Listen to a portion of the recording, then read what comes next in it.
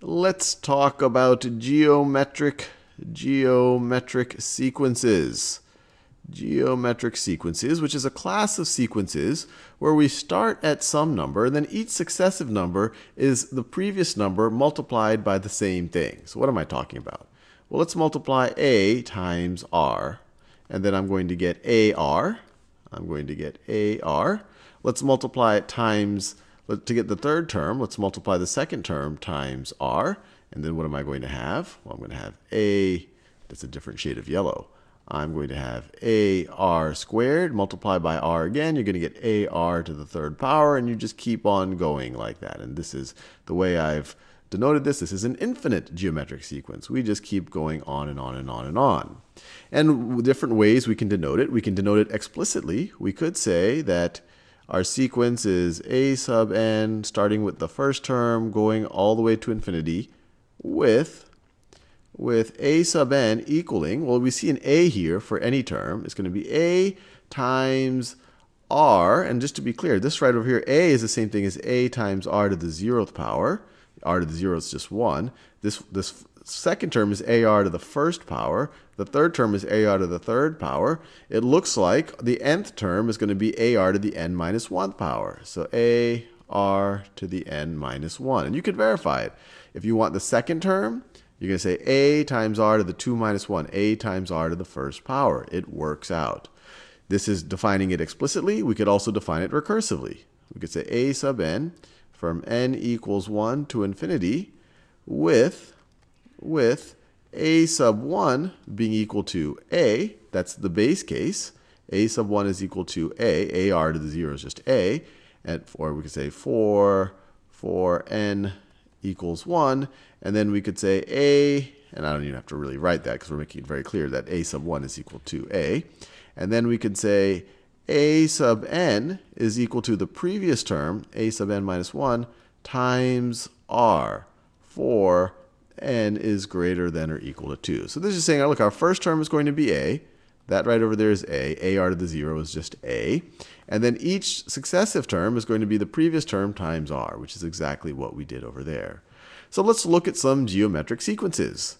So I could have a geometric se sequence like this. I could have a sub n, n is equal to 1 to infinity with with let's say a sub n is equal to, let's say our first term is, I don't know, let's say it is equal to 20, and then r, the, the, the number that we're multiplying to get each successive term, let's say it's equal to 1 half, 1 half to the n minus 1. So what would this sequence actually look like? Well, let's think about it. The first term is 20. If you say, if you n is 1, this is going to be 1 half to the 0th power, so it's just going to be 1 times 20. So the first term is 20. And then each time we're multiplying by what? Well, here, each time we're multiplying by 1 half. So it's going to be 20 times 1 half is 10. 10 times 1 half is 5. 5 times 1 half is 2.5. Actually, let me just write that as a fraction. Is 5 halves. 5 halves times 1 half is 5 fourths. And you can just keep going on and on and on. This is a geometric sequence. Now let me give you another sequence and tell me if it is geometric. So let's say I start at 1, and so then I'm going to go to 2, and then I'm going to go to 6, and then I'm going to go to, let me see what I want to do. I want to go to 24, and then I could go to 120, and I go on and on and on. Is this a geometric sequence? Well, let's think about what's going on. To go from 1 to 2, I multiplied, I multiplied by 2. To go from 2 to 6, I multiplied by 3. To go from 6 to 24, I multiplied, I multiplied by 4.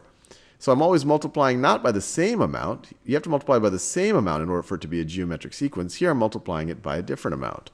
So this sequence that I just that I just constructed has the form. I have my first term, and then my second term is going to be 2 times 2 times my first term. And then my third one is going to be third to 3 times my second term, so 3 times 2 times a.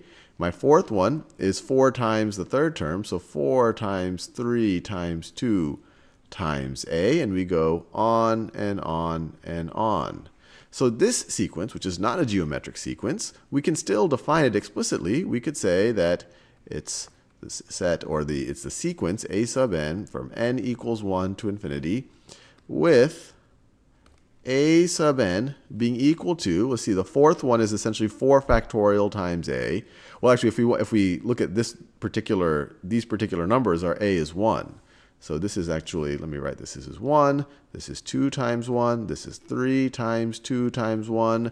This is 4 times 3 times 2 times 1. And so 8, a, a sub n is just equal to, is just equal to n, n factorial. This, this right over here, which is not a geometric sequence, describes exactly this sequence right over here just to get some practice with here we've defined it explicitly, but we could also define it recursively. We could also say, do it in white, we could also say that a sub n, a sub n takes us from n equals 1 to infinity with a sub 1, or maybe a sub 1 is equal to 1. That's our first term. And then each successive term is going to be equal to the previous term times n. So the second term is equal to the previous term times 2. The nth term is going to be the previous term times n. So this is another valid way, valid way of defining it.